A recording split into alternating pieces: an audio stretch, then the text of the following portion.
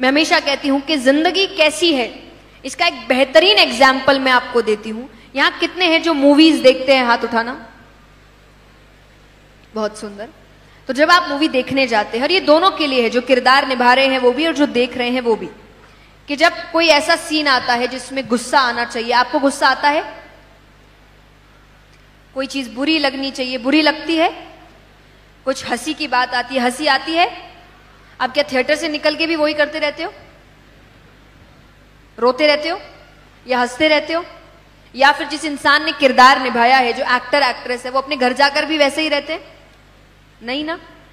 ये ज़िंदगी एक मूवी की तरह है।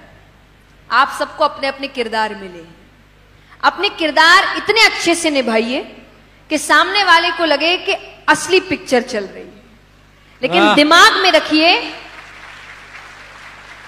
कि दिमाग में रखिए जिस दिन पिक्चर खत्म हुई उस दिन वापस अपने घर जाना है।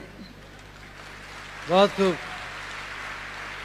लेकिन इसका मतलब ये नहीं कि किरदार अच्छे से मत निभाओ। किरदार इतने अच्छे से निभाओ कि आपके जाने के बाद लोग कहे कि पिक्चर सुपरहिट थी।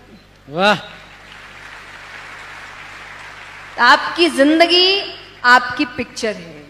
इसको फ्लॉप करना है हिट बनाना है, सुपर हिट बनाना है। ये आपकी मर्ज़ी। तो आध्यात्मिक पर्सपेक्टिव तो यही कहता है, उम्मीद रखो मत। उम्मीद रखोगे तो दुख मिलेगा। भगवान ने ये वही बात है कि सामने रास्ता है और लिखा है, आगे खाई है। अब आप कहोगे, मुझे तो जाना है। तो गिरोगे। भगवान ज़बरदस्ती नहीं करते हैं। ज़बरदस्ती करनी होती तो महाभारत का युद्ध नहीं होता। दुर्योधन को दो थप्पड़ लगाते।